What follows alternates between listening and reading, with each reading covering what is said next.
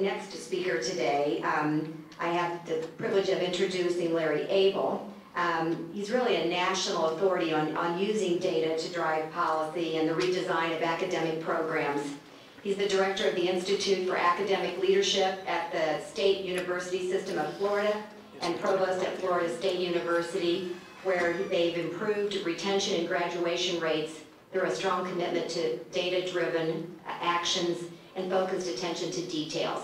He has demonstrated that success and progress requires many actions sustained over a long period of time, and I ask that you please join me in welcoming Larry to the stage.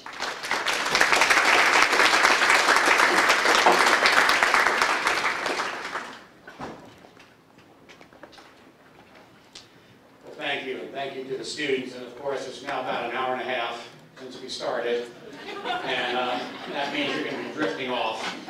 So if you feel free to grab some coffee or do something else. The, uh, I'm really glad to see student success teams here.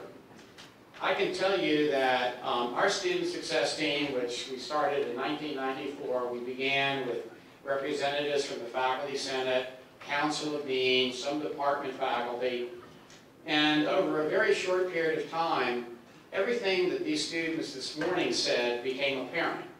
And that it wasn't an issue of what faculty were doing. It wasn't an issue of the Council of Deans or the Senate. It was all of these other administrative issues, the scheduling of classes, how students registered, what was offered, that were that was really influencing it. And so our team ended up with registrar, admissions, and four frontline advisors. When I say frontline advisors, people who meet with students every single day because they know far more about what's going on than certainly any dean or definitely any provost. So over 16 years as provost, I had the opportunity for a lot of experiences, many of them, like you sitting out there. And I have to say that sometimes when I was sitting out in the audience um, having to deal with another legislative mandate, I wasn't real happy. Um, I was the legislative liaison um, and to the Board of Governors, and I have to say over time I did learn to slow walk some of their demands. Um, the more faculty were unhappy, the slower I could walk it. So uh, you have some sympathy. The, uh, we really gonna, we face um, four challenges really. Um, and you, you, see these everywhere. We have a, a low graduation rate, too much time to a degree, excess hours, and high costs. And I hope to show you today that there is a single solution that will serve to help alleviate each one of those. There's a lot of good news out there, and I'd like to focus on the good news, and that is um, institutions have a huge effect on graduation rate. This is uh, all publics with more than 200 entering students. And you can see that, say, take a retention rate of, say, 70%, you can see graduation rates from about 23% to almost 60%. That's the good news. It would be terrible if they all fell on a single line and it didn't like there was any variation. You can take a little bit closer look at, um, see, whoops. Jeez, I shouldn't do that. Um, these are 12 Indiana four-year publics and 15 other institutions from around the country that clustered with Indiana institutions based on high school GPA, SAT, size of the institution, setting, expenditures. And the good news again is there's a lot of variation there, which means there's lots of opportunities for improvement. And it's going to take some paying attention to what institutions that are perhaps doing better and emulating those processes that will serve your campus. The other amazing thing, this is the percentage of students who graduated with over 110% of required credits. What is amazing to me is this is from the state of Florida. We have common course numbering, we have common prerequisites for majors, common everything. And you would think that there would be more consistency across the state. This is a huge data set. I think I pulled this one from about 16,000 students. You can see, if you think about it, it's a huge cost to those students. The more I looked at transcripts, the more I actually felt guilty that we were not intervening or intruding, I don't mind intruding, um, more aggressively with these students. And I kind of, I was introduced to it. This is a random sample from last year from the state of Florida. Um, in 1999, I was planning our graduation and was trying to estimate, um, we wanted every student to walk across the stage, so how many uh, graduations would we have to have? We were, we were doing Friday night, Saturday morning, Sunday afternoon. So I did something, I just said, how many students have, will have 120 hours at the end of this term? And I thought that would give me an idea of how many I expected to graduate. I, I was beyond shocked. We had 12,000 students with over 120 hours, and less than 4,000 of them had actually applied for graduation. We had 8,000 students with anywhere from 120 to 286 was the record. And what astonished me is if you look here, um, these are students who started at the same institution, and some of them had 254 hours. Transfer students, some had 269. Trans, these are community college transfers, other institutions. The, it was just staggering. And then when I started looking in um, detail at transcripts, um, I, this is not, you know, real common, but it's not rare either. There were 47 students in that sample that had over 200 hours.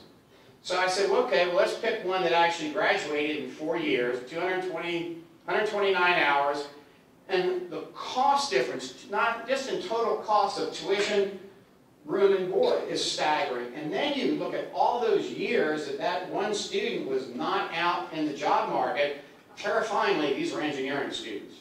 And I hope that I never drive over a bridge designed by the one on the map.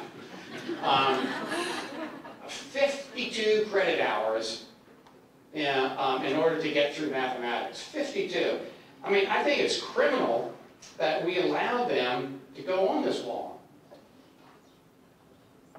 Yeah.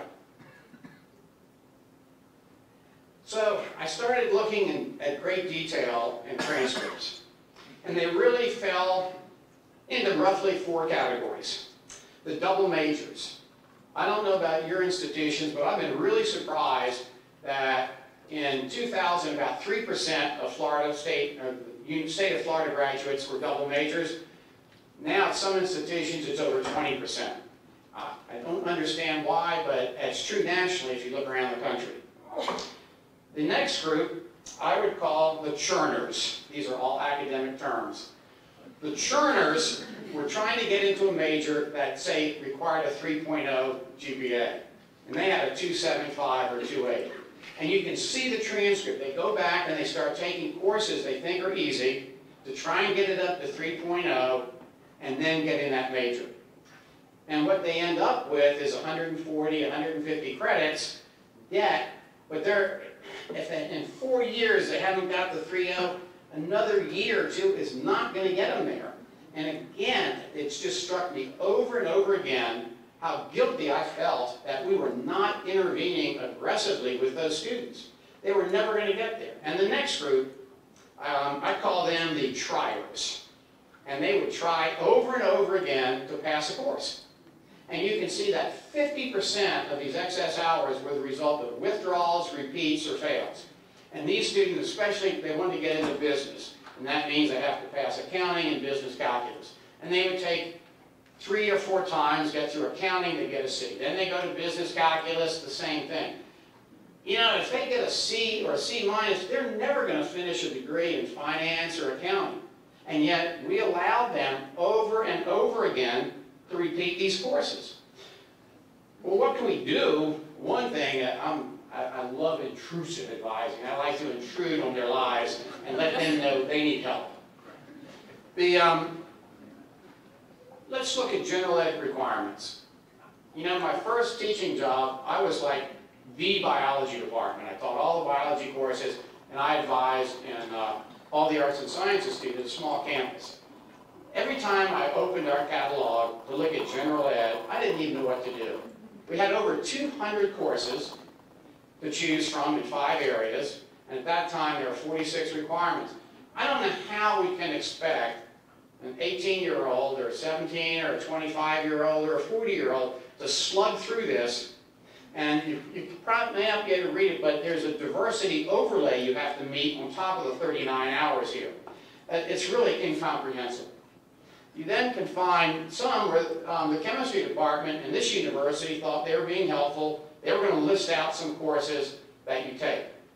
They don't tell you how many hours each course is. They don't tell you what general education they might require along with it and what the sequence is.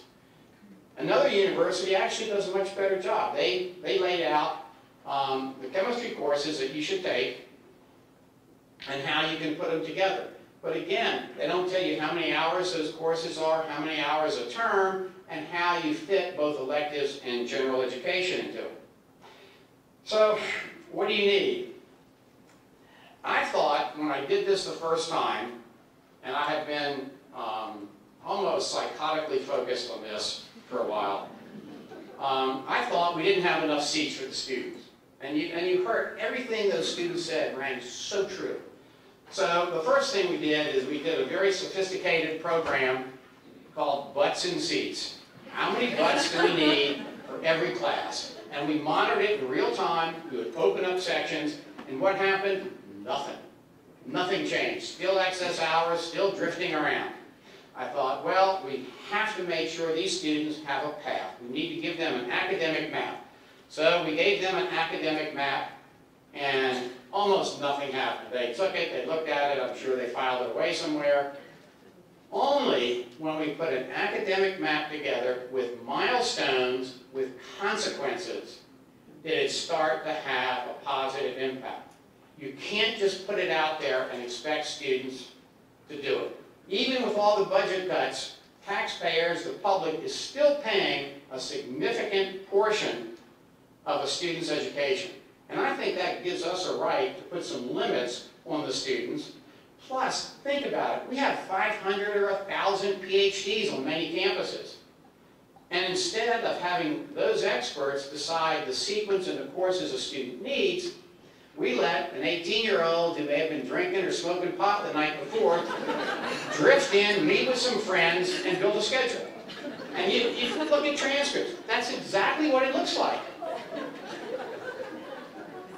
So you need, they need a path, but they need barriers on that path.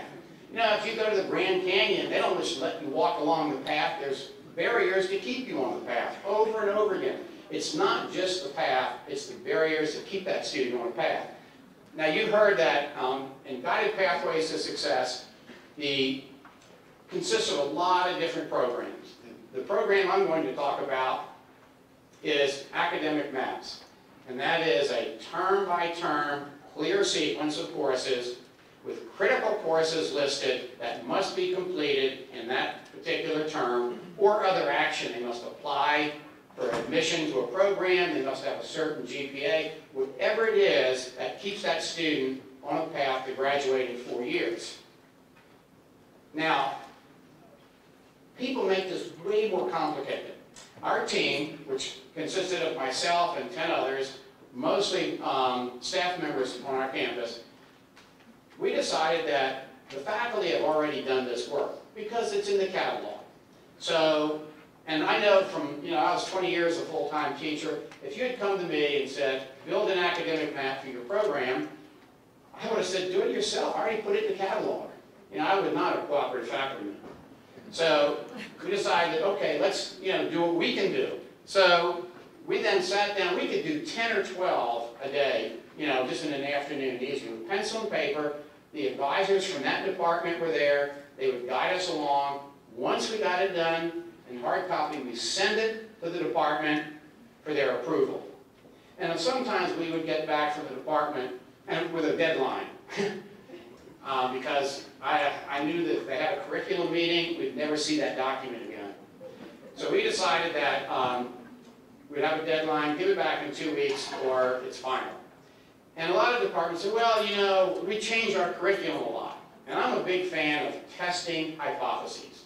That's a testable hypothesis. So I did five years cluster analysis of every course offered in the department, and it was 99.8% identical year to year.